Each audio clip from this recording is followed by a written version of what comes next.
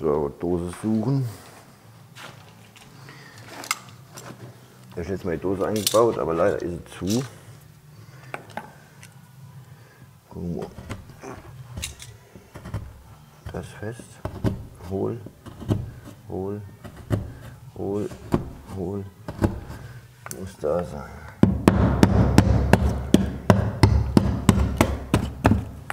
Da ist sie.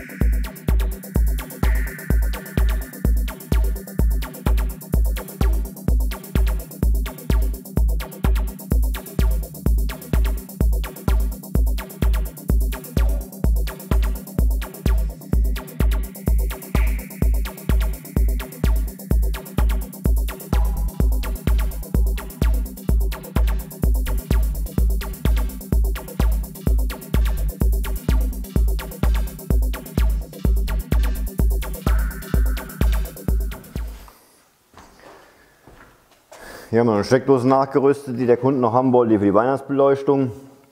Da habe ich gerade eine neue Zuleitung runter in die Verteilung gelegt. Ähm, jetzt bauen wir noch drüben noch ein paar Dosen aus, wenn wir das auch geschafft haben. So, die Wände sind ja auch geschlossen. Tun wir jetzt hier noch die Dosen ausbohren. Das heißt, wir wissen natürlich nicht ganz genau, wo hier die, die Latten dahinter liegen, weil das ja erst äh, USB drauf gekommen und dann Rigips. Ähm, machen wir jetzt mal einen Strich. Da schon Bleistift irgendwo verloren, keine Ahnung wo. Muss mal da eh noch überspachtelt wäre es nicht ganz so schlimm, aber wenn jetzt mal hier, ähm, na wie heißt schnell, wenn, das mal, wenn man das mit dem Bleistift, äh, mit, dem, mit dem Kuli macht, wenn, wenn danach gestrichen wird, ist vorbei, weil das so schmiert. Das hat man immer einen Bleistift.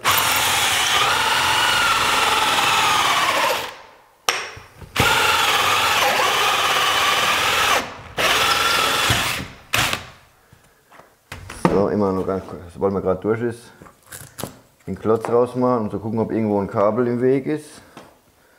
Da ist jetzt mal keins. Oder doch halt, da ist irgendwas, fühle ich hier in der Glaswolle. So, jetzt müssen wir mal gucken, welche Richtung, wie viel Luft wir wo haben.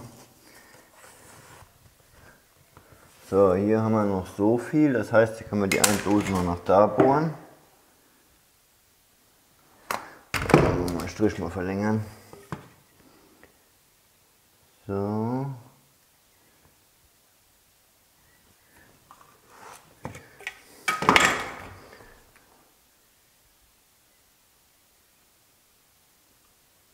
So,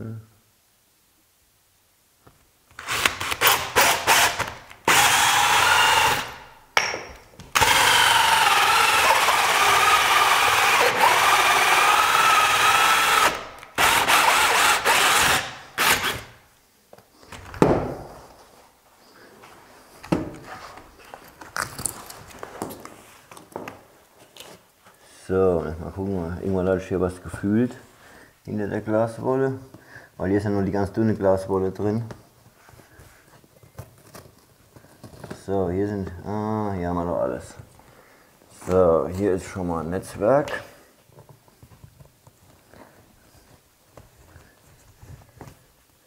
Und hier ist die Antenne. So, die wollen wir hier drüben drin haben. Vorsichtig, damit nicht zu stark knicken.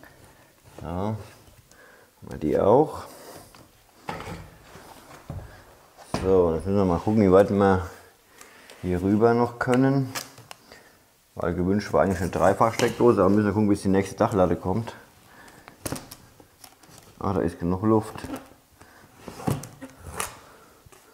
Da haben wir noch genug Luft, sehr gut. So.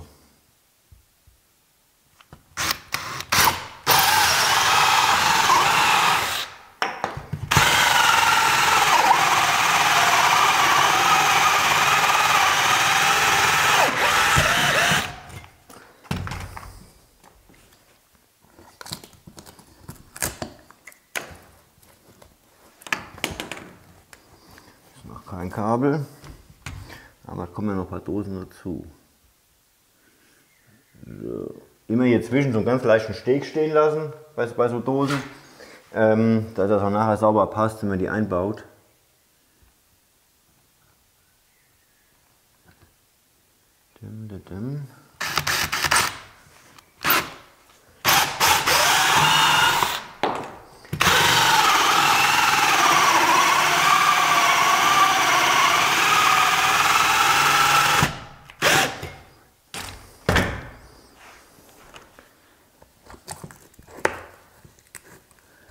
Komm, du, du Stöpsel. So, nächste noch.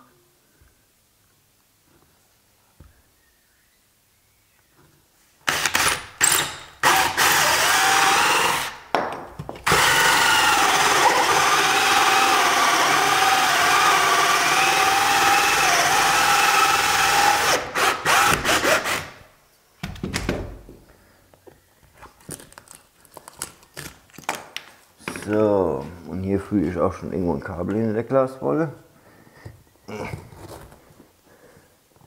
Da ist es. Da ist es.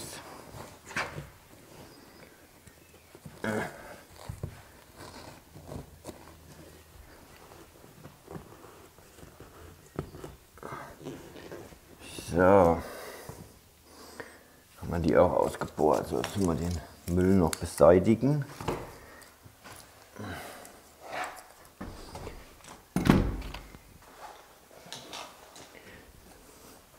So, ich bohre die jetzt erstmal nur aus, weil es schon spät am Abend. Das muss ich nur sehen, dass ich noch schnell alles durchkriege. Samstagabend, weil ich fahre Nacht heim.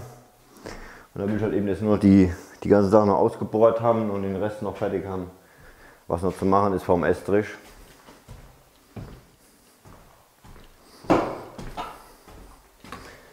Ich bohre so, so Dosen immer lieber gern vorm Estrich alle aus, weil noch könnte ich hier irgendwas aufschneiden, wenn ich ein Kabel nicht finde oder wenn das irgendwas kaputt sein sollte. Äh, wenn der Estrich mal drin ist, komme ich natürlich nicht mehr dran, weil noch könnte ich hier was kaputt machen. Und halt eben vor allem aktuell wird gerade gespachtelt. Das heißt, wenn ich was rausschneiden muss, können die noch gerade mit zuspachteln.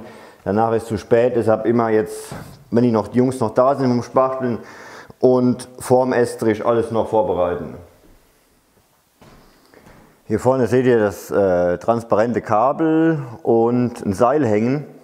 Als die Dachverglasung die Tage gebaut worden ist, haben wir oben hier eine Nut reingefräst, hat uns der Fensterbauer reingefräst, oberhalb, wo dann die Schiene dann, ähm, rechts und links wird ja geschraubt und Mitte ist genau eine kleine Nut, wo das Kabel durchläuft, ist oben in den Dachpfanne Dose verklemmt. Das Seil hat oben eine, ähm, eine Seilklemme drauf, die verschraubt ist, dass es ähm, ähm, sich nicht rausreißt. Und hier kann, dann, kann man dann im Prinzip die Hängelampe über den Tisch hängen. Ist genau auch in dem T gebohrt, dass optisch schön aussieht. Die Wand kennt ihr noch aus irgendeinem von den letzten Videos. Hier ist ja draußen der Carport, der noch hinkommt.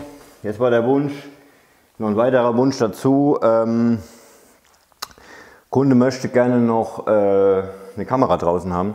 Jetzt gucke ich schon gerade, wo ich mit dem Kabel hierher gehe. Kann man schön außen rum gehen, auf jeder Seite raus. Weil die muss, muss ja noch bis zum Zählerschrank runter, das Kabel.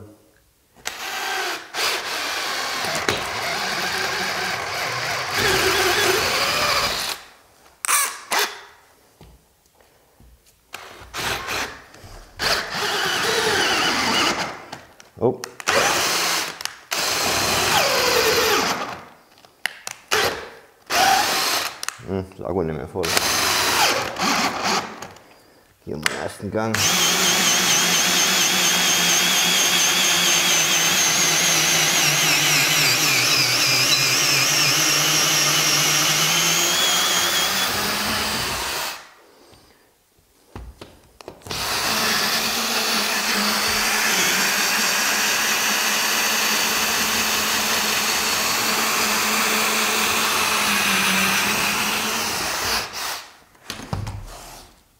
Ich sehe ein Loch.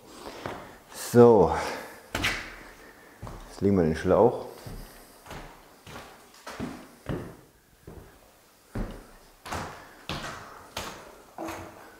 Oh, oh, oh, oh, oh, oh, das soll nicht in den Estrich fallen hier, das Kabel. Das wäre schlecht.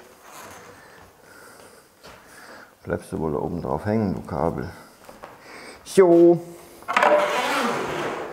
Jetzt müssen wir auch ein bisschen hier hochbinden. Machen wir gleich mal Kabelbinder dran. Dass das auf jeden Fall in der richtigen Position rauskommt.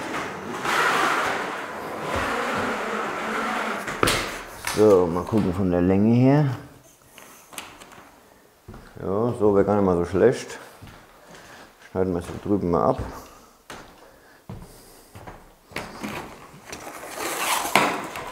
Kabel mal durchschieben, müssen wir hier noch ab losmachen. So.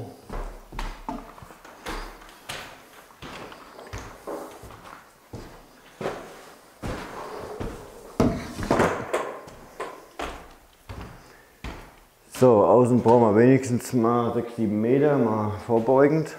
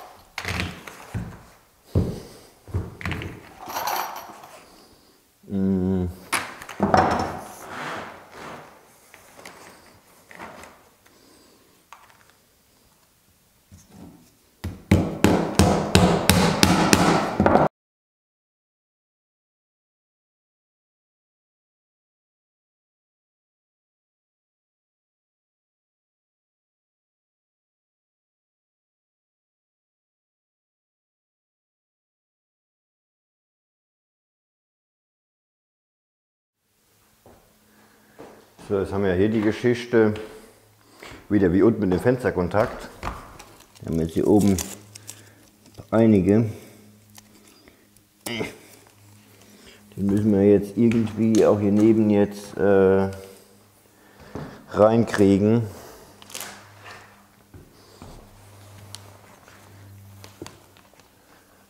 So.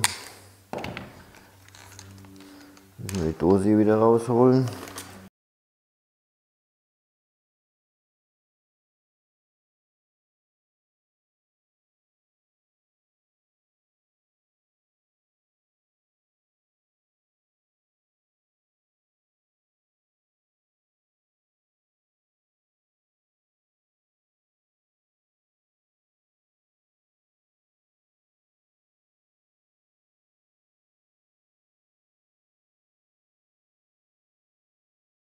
So, ist ein bisschen schwierig, komplizierter.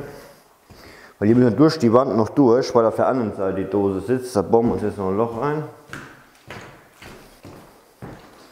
So, unten ist ja die Fußschwelle, wo drauf geschraubt ist. Da gehen wir ein bisschen höher. So ungefähr.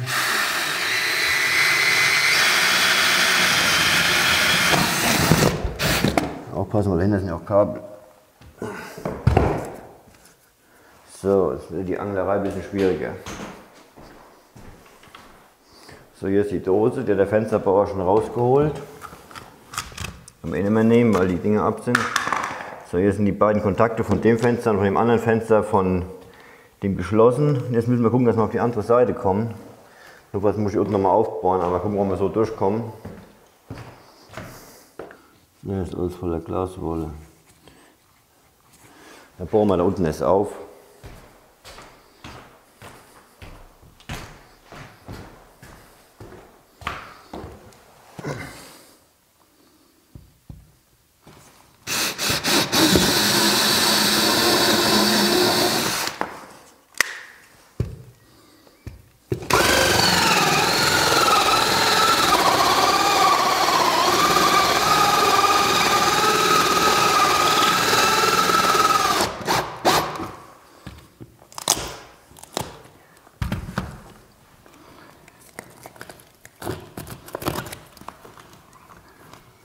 Ah ja, da ist alles voller Glaswolle. So, jetzt das jetzt was durchschieben.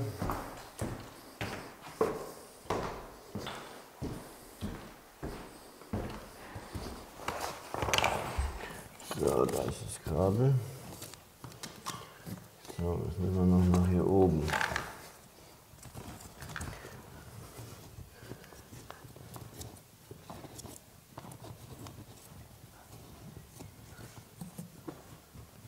Ah, perfekt. Gut. Machen Seite das Rohr hin.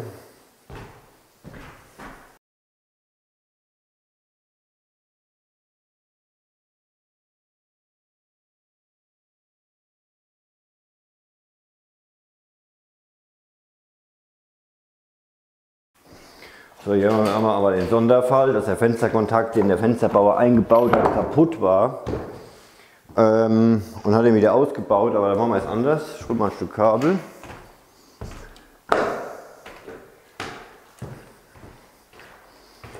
Weil jetzt kommt ja der Estrich und da kann man nicht sagen, nur Estrich muss warten wegen Fensterkontakt.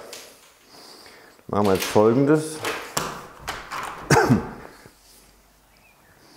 Das Loch ist ja hier gebohrt. Wir tun jetzt hier ein Kabel durchschieben. Das binden wir jetzt, binde ich jetzt hier unten, machen wir das jetzt mit Isolierband fest. Da kommen wir nämlich nachher, wenn der Fensterkontakt da, also Estrich drin ist, der Fensterkontakt da ist, tun wir hier unten neben dem Fensterkontakt, tun wir hier ein bisschen, ein bisschen das Holz ausfräsen und löten dann unterhalb von dem Fensterkontakt ähm, das Kabel an.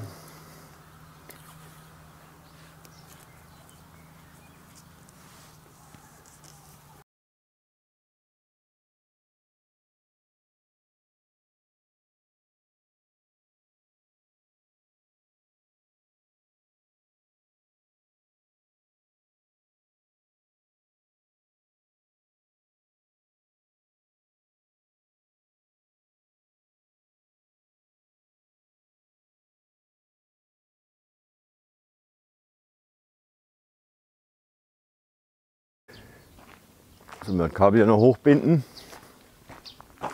Ich bin natürlich zu faul, eine Leiter zu holen.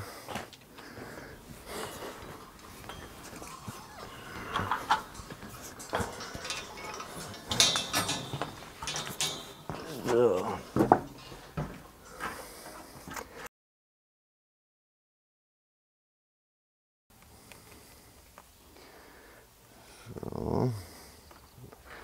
Haben das auch oben hängen. So.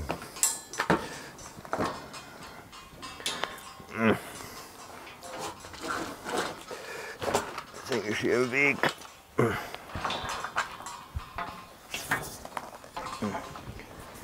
Boah.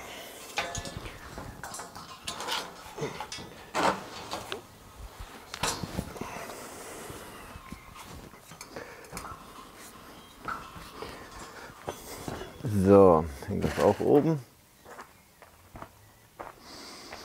Können wir uns mal den Lautsprecher. So, da habe ich jetzt einen äh, Lautsprecher, einen Dachüberstand ausgeschnitten. Und dasselbe machen wir es auch auf der anderen Seite. Das sind so Putzträgerplatten.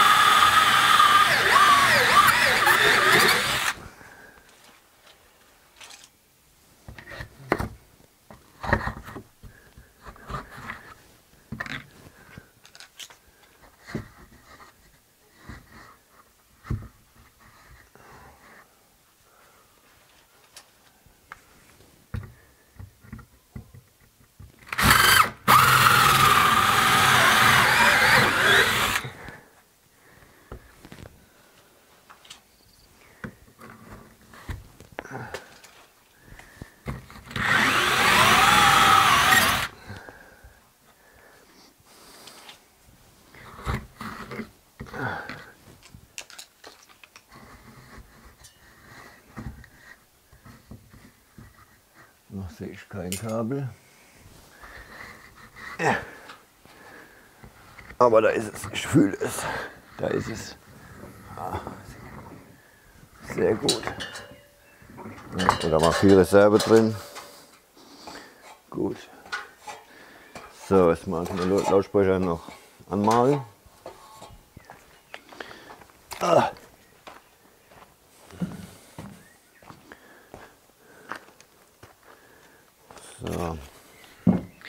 Wir schneiden den Stichsäge aus. Hier habe ich eine Schablone wieder,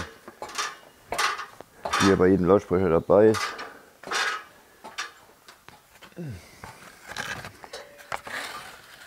So. Drüber noch.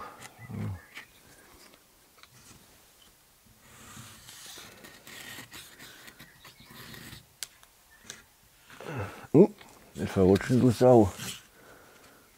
Du Lautsprecher, schon blöd. Ah.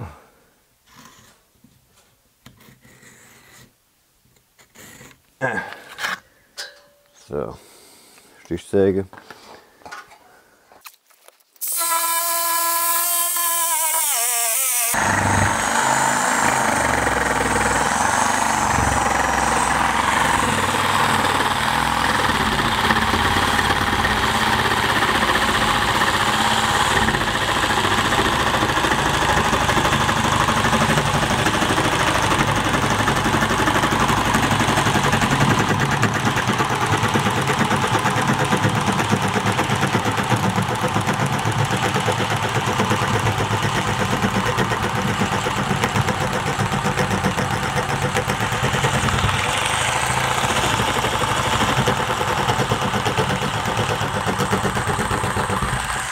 Also, Akku leer.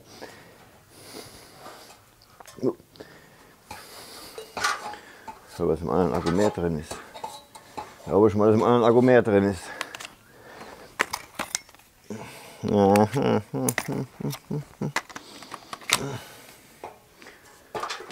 der Akku ist auch leer.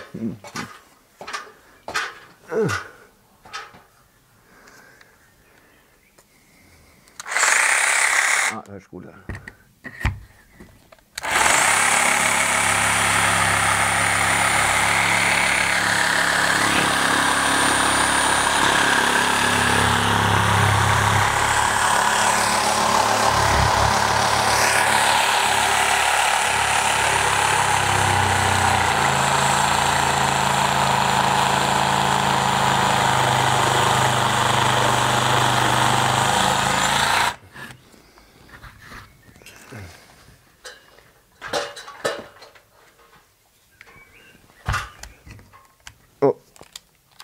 auch leer. Gerade gereicht.